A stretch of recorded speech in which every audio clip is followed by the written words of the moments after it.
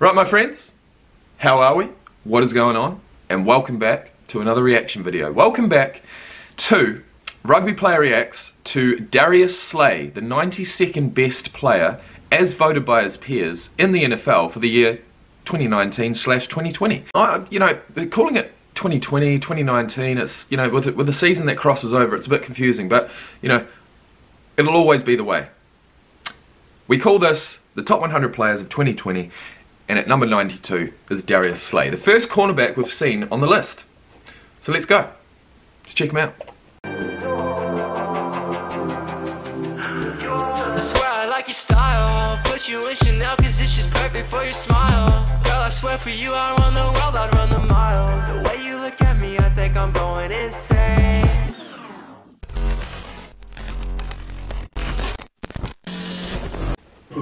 Familiar with uh, Top 100?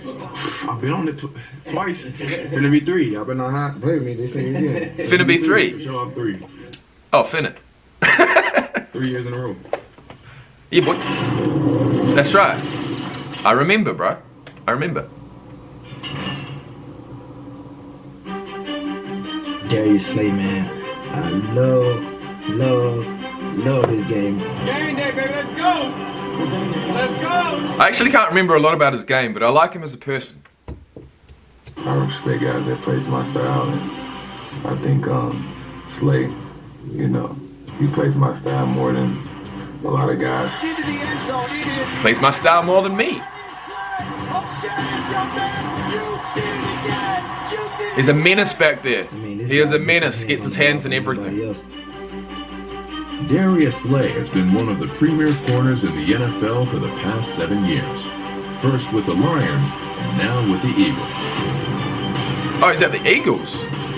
How good he's impressed and how he can play off coverage.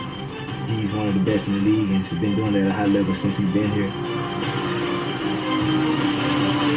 Since 2013, Slay leads the NFL in passes defensed with 104. The reigning Defensive Player of the Year is second with 95.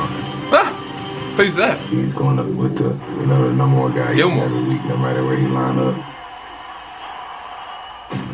He is going up against some some lethal receivers, man. Darius Slay got a hand in there to it away from Terry McLaurin. Knocked away by Darius Slay. It is knocked away complete good by Darius Okay, I gotta be honest, man.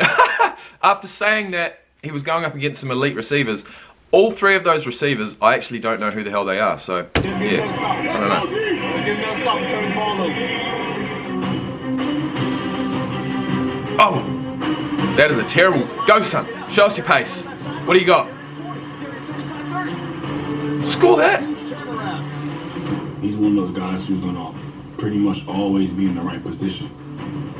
That guy looks like Allen Robinson looks a spitting image of Davante Adams. But the makeup speed from Darius Slay was there for him to get back into that play.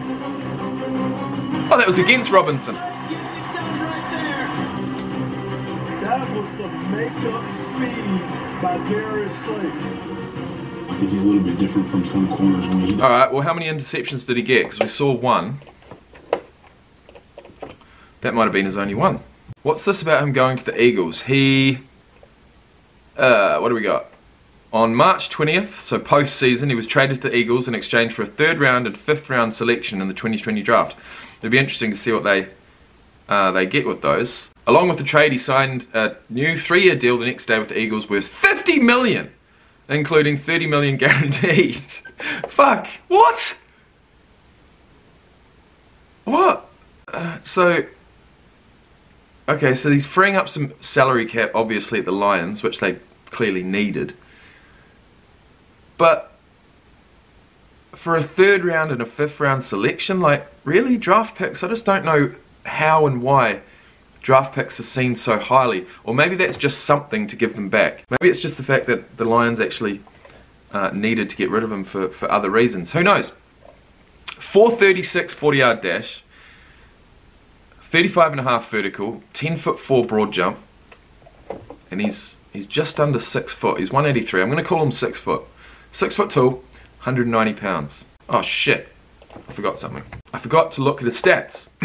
Last year, Interceptions, he got two uh, for 19 yards at an average of 9.5. His longest being 19 yards, which is the one that we just saw. He scored, he, he's scored, he's got one sack as a corner and one touchdown as a corner.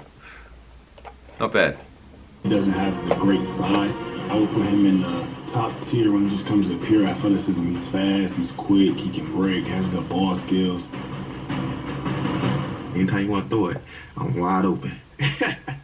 Oh yeah. Yeah, you don't want to throw it to him. You don't. But he's only got two interceptions the whole year, so he's all about breaking up tackles. I feel like he's all about breaking up tackles. He may be on the smaller side, so it's not easy for him to actually get over the top of a receiver and make that, that interception. Um, or at least that's how that's how I'm thinking of it. Guys, um, I want to say thank you for watching. I want to say um, I hope you're enjoying the series, and I want to say let's get into the 10th video of the series, number 91, Grady Jarrett. Now, the name that comes to mind, I haven't got dyslexia, but when I read that, I see Myles Garrett. But it's certainly not Myles Garrett, it's Grady Jarrett. So, with that being said, he's a defensive tackle for the Falcons, and I'll see you soon. See ya.